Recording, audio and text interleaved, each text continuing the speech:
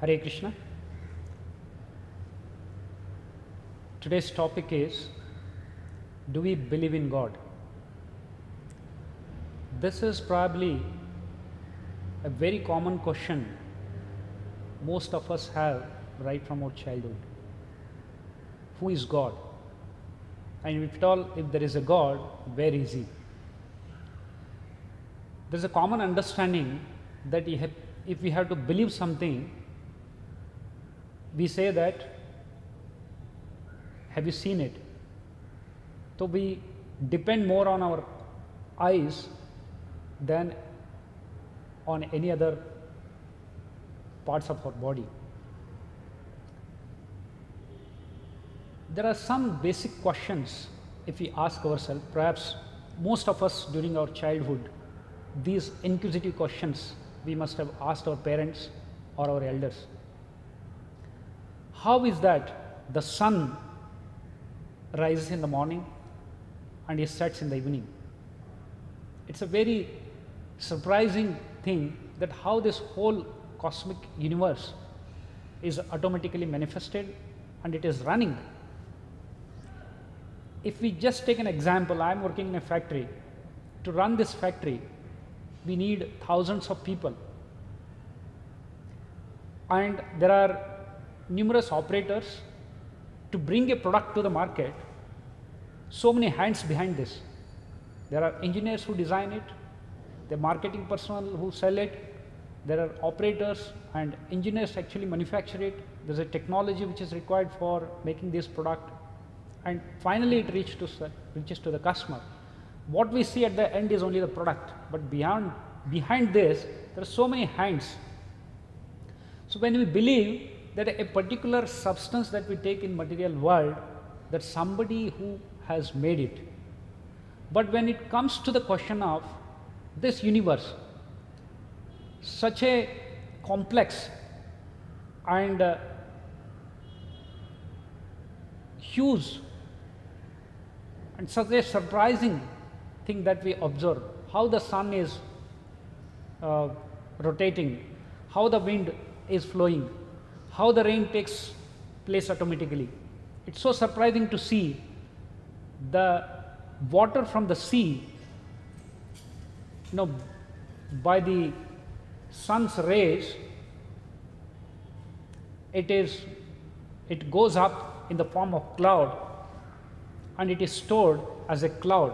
It's a huge mass of water and appropriately during June, July, August, the same water which is in the purified form falls in the form of a rain. Now, how this whole cycle is controlled? Who controls this? If, if at all we have to lift a, some quantity of water, we need a pump, we need a pipe, we need a source of power, and then we need a tank on the top to store it, and then we can get the water in the tap. But look at this universe, how this whole thing happens. There is no pump, there is no pipe, there is no tank, but still precisely the whole cycle is controlled. Not only that, the sea water which is salty and it goes up and it is in the form of purified distilled water, it falls down. If you have to put up a distilled water plant, there are so many people behind this. So, we believe a simple thing that there is an object or there is some creation, we believe that there is some creator.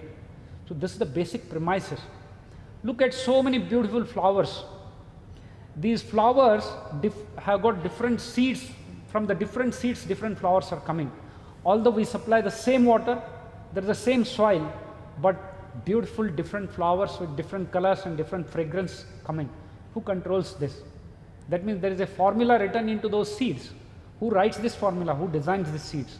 If you ask this basic question, perhaps we, we will scratch our head. But there is a common belief that if there is some supreme energy which controls this universe, and then who is that supreme energy? Who controls this universe? And in order to understand this precisely, this is explained very nicely by the Supreme Creator himself in Bhagavad Gita.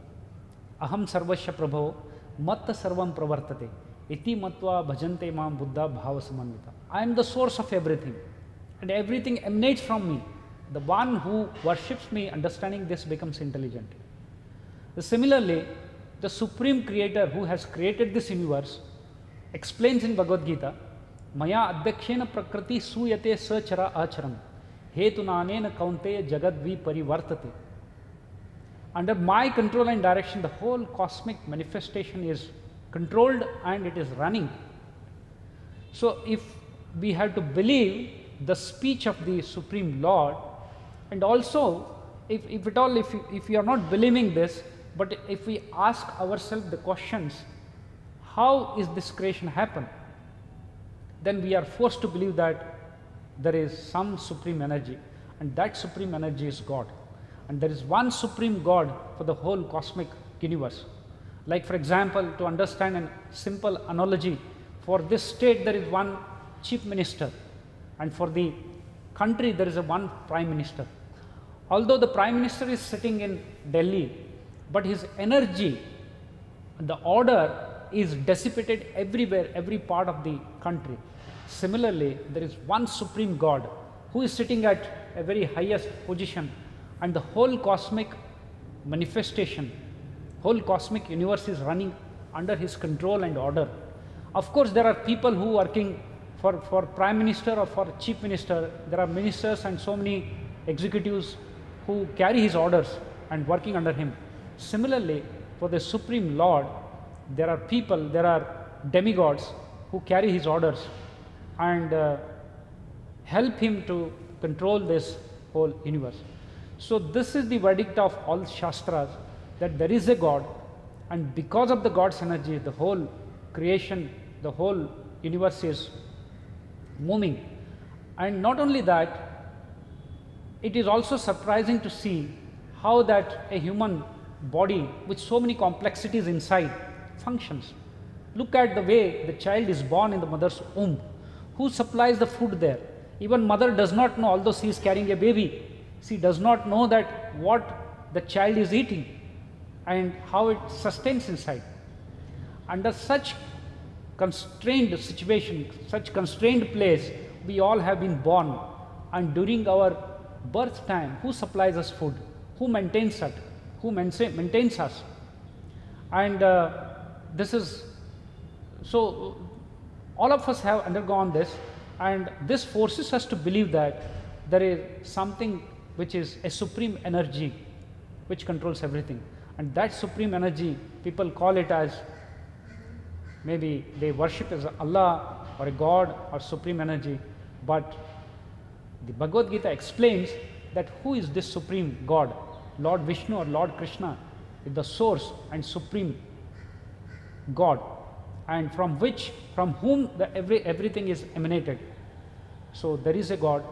And uh, we ourselves can experience and uh, understand or we can hear from those who have realized God that who is God, what is his nature, where he is he and how he controls this can all be the knowledge uh, can be sought from the scriptures like Bhagavad Gita and Srimad Bhagavatam.